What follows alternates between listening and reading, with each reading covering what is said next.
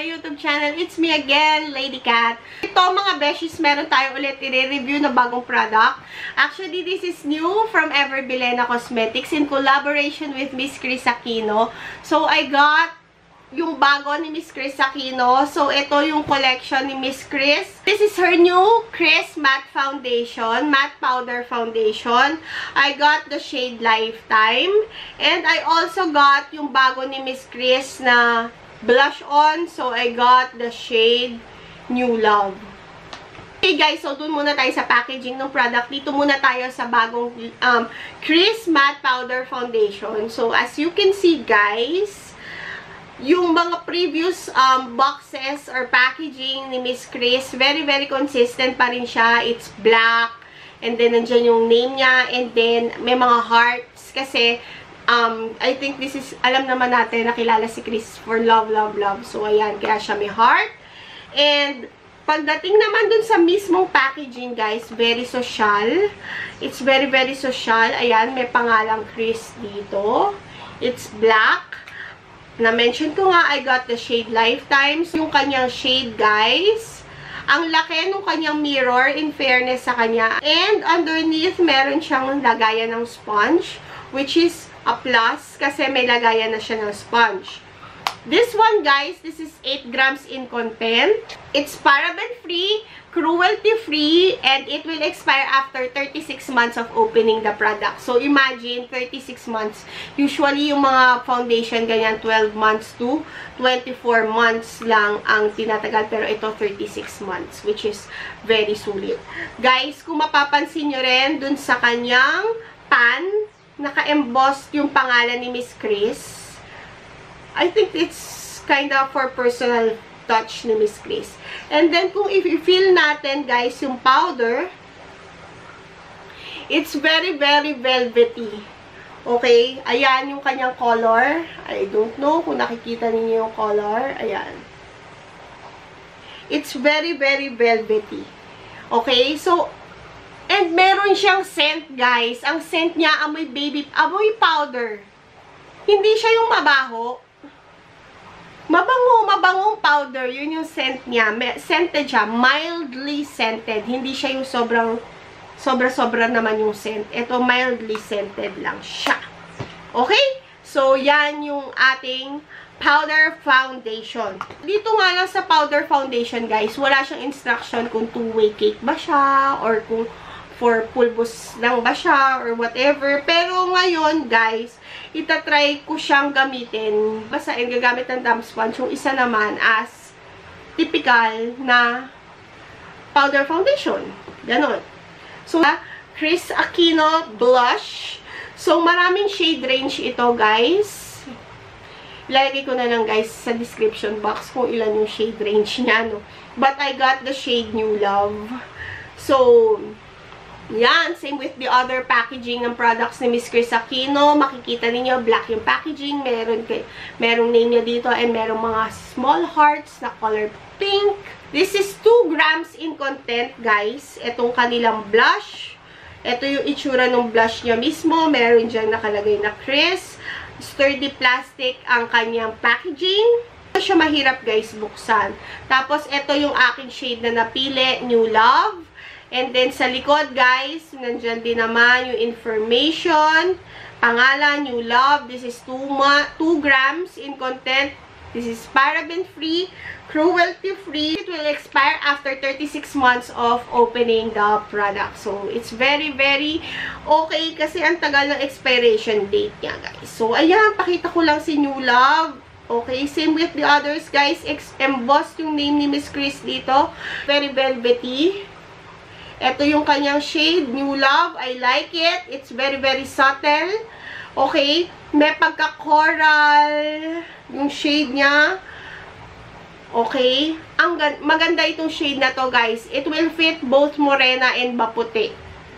So, ayun, guys. Simulan na natin. Sobra-sobra excited na ako, guys, itry ito. Kasi as you all know naman, si Miss Chris, tuwang-tuwa talaga ako dyan. As in, sobrang ha, wala akong masabi kay Miss Chris. Sobrang idol ko talaga yan. So, eto, itatry natin, guys, gamitin Sa kabilang side, guys, itatry kong gumamit ng isang damp sponge. Okay? Try natin kasi baka pwede siya. I think pwede siyang damp sponge. Oh. Oh, ha? Guys, naglagay lang ako ng moisturizer. Hindi ako naglagay ng primer para makita natin kung ano yung effect niya sa skin ko kung walang primer. Kubuha lang ako ng konting product and then, ayan, nilalagay lang natin sa ating face. Oh, hindi niya totally nako-cover yung mga imperfections ko. Kailangan natin gumamit ng concealer, guys. Okay. So, etong powder foundation na to, napansin ko, it has a sheer to medium coverage. No, hindi ko nga siya makategorize as medium coverage kasi kita pa rin talaga yung mga dark spots. Hindi niya talaga na-conceal. Ayan, no, kita ko pa rin yung pimple mark ko dito. Ewan ko kung nakikita nyo guys ha. Kasi ako kita ko yung pimple marks ko dyan. It has sheer coverage, guys. Itong foundation na to. Side, guys, gagamit tayo ng sponge. Gagamitin natin yung sponge niya. And, yan. Oh! Siguro, guys, if you want coverage, uh, more coverage, you can use it dry.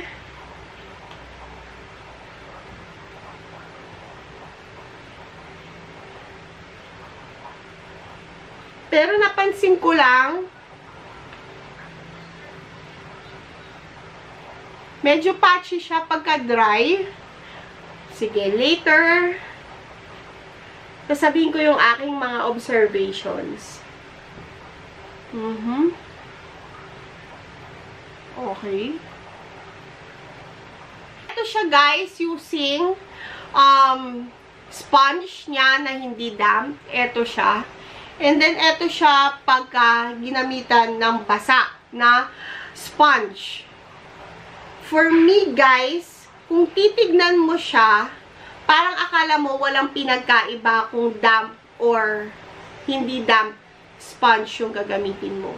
Ang na-notice ko lang, guys, is sa damp sponge, sobrang fine nung texture niya sa skin. Dito, guys, sa pag sponge lang ang ginamit mo, para siyang nagiging patchy. Siya guys, gagamit na ako ng damp sponge para maging even siya.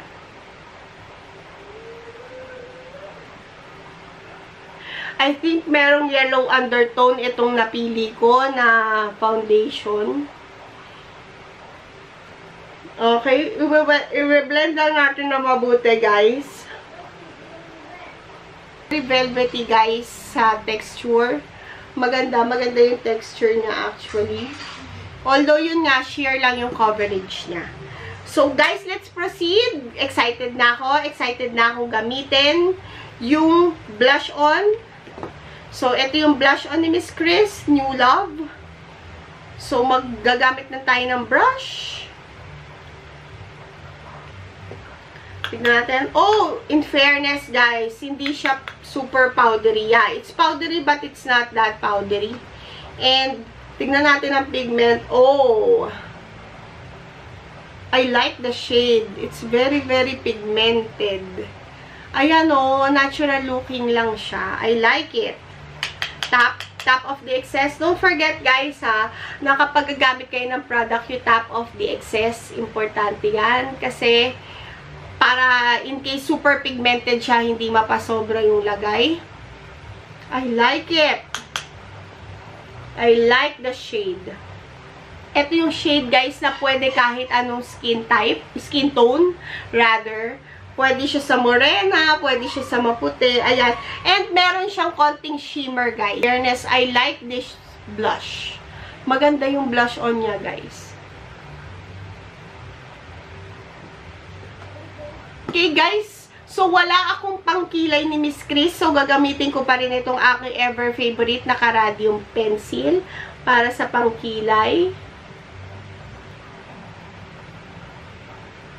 Ayan, meron na tayong konting kilay. And guys, gagamitin ko sa aking lips is itong kay Miss Chris din, yung matte liquid lipstick. Yung matte liquid lipstick ni Miss Chris in the shade Laugh.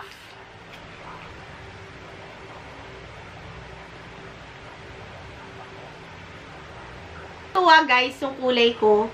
Yung kulay na lips ko is fuchsia pink and then yung kulay ng damit ko is uh, purple, violet. So, nag-complement yung colors nila. There you go, guys. Ito na yung aking final makeup look, no? So, pupunta na tayo, guys, sa final verdict ko or my final thoughts about the products. So, dito muna tayo, guys, sa um, matte powder foundation ni Miss Chris. For the packaging, guys, it's very, very classy. For me, thumbs up ako sa kanyang packaging. Maganda yung packaging niya and meron nga siyang um, lagayan, actually, ng sponge, which is isa rin sa nagustuhan ko. For its price, guys, this is 295 pesos, 8 grams in content. Okay na siya, guys. Kasi ang kanya expiration is up to 36 months. So, itong product na to, sulit na sulit na siya for its price. I can say, expecting natin, guys, na pag meron talagang collaboration sa isang celebrity, medyo mas mataas ang presyo. So, kung titignan niyo it's Ever Belena, but it is um, amounting to 295 kasi collab siya, collaboration siya with Miss Chris Aquino. And, hindi rin naman guys nagpapatalo or hindi ka rin naman lugi dun sa 295 kasi marami yung content niya, 8 grams in particular. So, sa kanyang shade range, guys, maganda yung shade range niya. Ako gusto ko itong shade na ito, itong Lifetime for me, tamang-tama yung shade niya. Nag-oxidize siya, guys, pero hindi siya ganon ka, ano, mag-oxidize. Alam niyo, ganon kabilis mag-oxidize. And mag-oxidize man siya, guys, pantay pa rin siya. Hindi siya yung maitim na maitim kung mag-oxidize sa akin.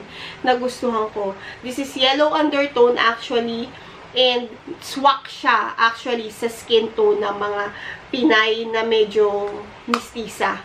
So, ako kasi, mas mas bet ko talaga sa mga powder foundation, yung mga may yellow undertone. So, yun yung bagay sa akin. Sa feel niya, guys, it's very, very velvety. Okay, so magan yung feel niya, sobrang velvety. Masyado siyang smooth, guys. So, okay na okay. Okay na okay siya sa skin. Ang problem lang dito, guys, wala siyang instruction if you can use it ng basa as a two-way cake or you can use it as dry for me guys, okay siya gamitin for basa. As in, kumakapit talaga siya mabuti. Sa coverage niya guys, na hanggang na sheer, na sheer coverage, hindi siya, ha, hindi siya full coverage guys. Yung medium nga medyo alanganin ni sheer to light coverage lang siya. Kasi kita mo pa rin guys talaga yung mga dark spots ko. Pero ang maganda naman sa mga sheer coverage, kita mo pa rin yung skin. Yung War Foundation, but kita mo pa rin yung skin mo. Kasi mer merong mga foundation na kapag nilagay mo, alam na alam ng tao na naka-foundation ka. Ito guys, in fairness sa kanya, maganda. Maganda yung formulation niya kahit sheer lang siya.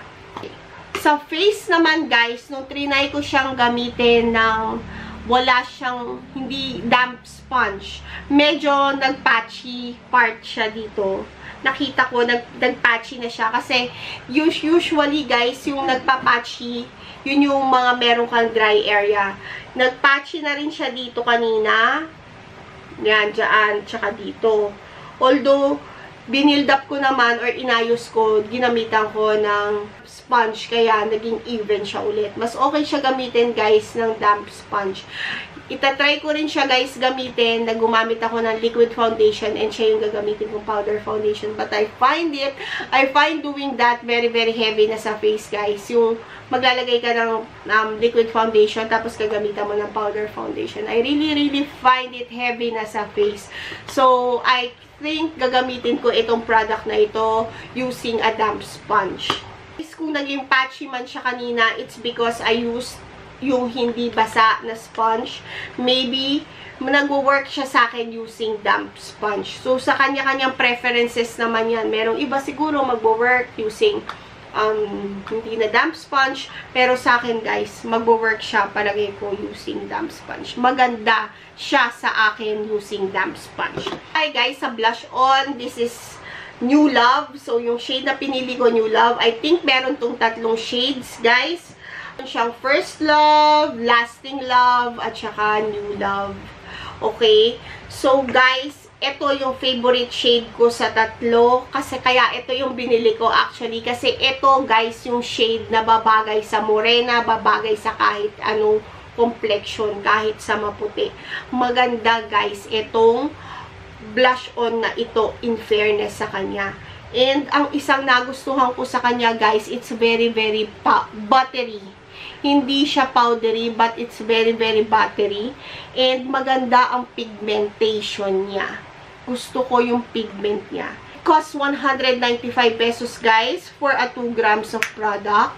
Okay, na-mention ko na nga kanina na nagmamahal talaga mga products dahil sa collab siya ni, kay Miss Chris Aquino. Pero nonetheless, guys, pwedeng-pwede na itong 195. Pero guys, kung titingin kayo, kung halimbawa nagbabudget talaga kayo, marami, marami naman kayo makikita mga blush on na mas mura, na maganda rin naman ang pigmentation, okay? Kumpara dito. Pero guys, itong kay Miss Chris, sa kanyang blush online, ito talaga yung pinakamagandang shade I can say. Para sa akin guys, itong product na ito, itong blush on na to, masusulit ko talaga to kasi ang ganda ng shade niya. Ay, meron siyang konting shimmer guys. Pero yung shimmer niya, hindi yung shimmer na very, very flattering. Ito, guys, yung shimmer niya, it's, it gives you the glow. Okay? So, maganda. Maganda, guys. In fairness, I like the pigment. I like the formulation. I like this blush on. Guys, sana nagustuhan ninyo itong aking review tungkol dito sa dalawang products na ito na bago ni Miss Chris Aquino. Kung nagustuhan niyo yung ating video, don't forget to hit the like button. Huwag niyo na rin guys kalimutan i-share. And please subscribe to my YouTube channel. Maraming maraming salamat mga beshies sa panonood. At hanggang sa uulitin, bye! Bye!